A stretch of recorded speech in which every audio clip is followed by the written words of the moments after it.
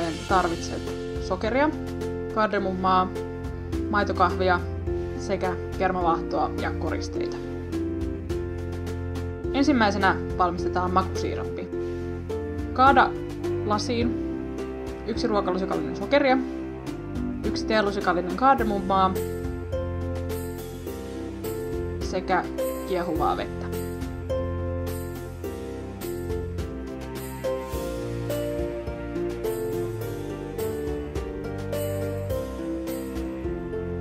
Itse juoma valmistetaan siten, että kaadetaan mukiin meidän makusiirappi sekä valmistamamme maitokahvi.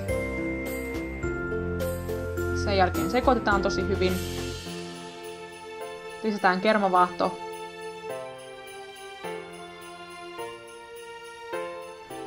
Hieman kardemummaa päälle.